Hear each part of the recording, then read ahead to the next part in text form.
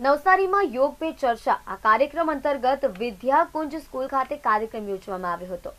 વડાપ્રધાન નરેન્દ્ર મોદી યોગને ઘર ઘર સુધી પહોંચાડવા માટે કટિબદ્ધ બન્યા છે. ત્યારે ગુજરાત રાજ્યમાં યોગ બોર્ડની રચના કરી લોકોને યોગની વિનામૂલ્યે તાલીમ આપવામાં આવી રહી છે. યોગના પ્રચાર પ્રસાર માટે નવસારીની વિદ્યાકુંજ સ્કૂલ ખાતે યોગ પે ચર્ચા નો કાર્યક્રમ યોજવામાં આવ્યો હતો. જેમાં મોટી સંખ્યામાં લોકોએ ભાગ લીધો હતો. આ કાર્યક્રમમાં રાજ્ય બોર્ડ યોગના ચેરમેન શિખપાલજી પણ ઉપસ્થિત રહ્યા હતા. શિષપાલ ચેરમેન ગુજરાત રાજ્ય યોગ બોર્ડ. આજે હું નવસારી જિલ્લામાં આવ્યો છું. નવસારી જિલ્લામાં યોગનું એક વાતાવરણ બનાવવા માટે એકવીસ જૂન આંતરરાષ્ટ્રીય યોગ દિવસના નિમિત્તે અમે કોમન યોગા પ્રોટોકોલના કાર્યક્રમો ગુજરાતભરમાં કરીએ છીએ. યોગ આપણું છે, આપણી સંસ્કૃતિની દેન છે. આપણા દેશના વડાપ્રધાન માન્ય નરેન્દ્રભાઈ મોદીના પ્રયત્નથી એકવીસ જૂન આંતરરાષ્ટ્રીય યોગ દિવસ ઉજવાય છે. આપણા માટે ખૂબ ગર્વ અને ગૌરવની વાત છે. એમના જ સ્વપ્નને સાકાર કરવા માટે ગુજરાત રાજ્ય સરકારે યોગ બોર્ડનું ગઠન કર્યું છે. યોગ બોર્ડના માધ્યમથી અમે એક લાખ યોગ ટ્રેનરો તૈયાર કર્યા છે અને ગુજરાતભરમાં જબરદસ્ત યોગની અવેરનેસ ફેલાવી છે.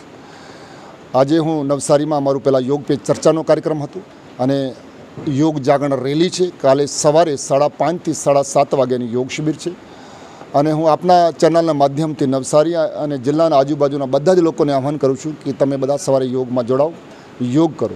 દરેક વ્યક્તિને યોગની જરૂર છે. પોતાની ઇમ્યુનિટી વધારવી હોય, ડાયાબિટીસ, બીપી અને મોટાપાથી બચવું હોય, તો યોગ ખૂબ મહત્વપૂર્ણ છે. આવો આપણે બધા સાથે મળીને યોગી બનીએ, નિરોગી બનીએ અને રાષ્ટ્ર માટે ઉપયોગી બનીએ. આજે મારા સાથે દિલ્હીથી ડૉક્ટર અનિલભાઈ જૈન પણ આવ્યા છે, જે યોગના બહુ જણીતું નામ છે ભારતભરમાં.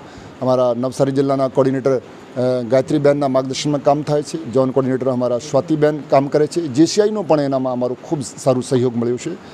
અને બધા જ લોકો કાલે મોટી સંખ્યામાં આવે એવું મારું આહવાન છે. કોરોના બાદ યોગમાં કેટલા રસ જાગ્યો છે લોકોને? સર, મારી દ્રષ્ટિએ કોરોનામાં પછી તો જબરદસ્ત રસ જાગ્યો છે. હું મારું જે અનુભવ છે વીસ વર્ષનો, વીસ વર્ષમાં પહેલાંથી જેટલા લોકોનો, લોકો ભાગ લેતા હતા, હવે લોકો દસ ગુણા વધાવ, દસ, વીસ ગુણા વધારે ભાગ લેવા લાગ્યા છે. હવે અમારી શિબિરોમાં પણ મોટી સંખ્યામાં લોકો આવ્યા છે. તો બહુ રસ લે છે લોકો હવે કોરોના પછી.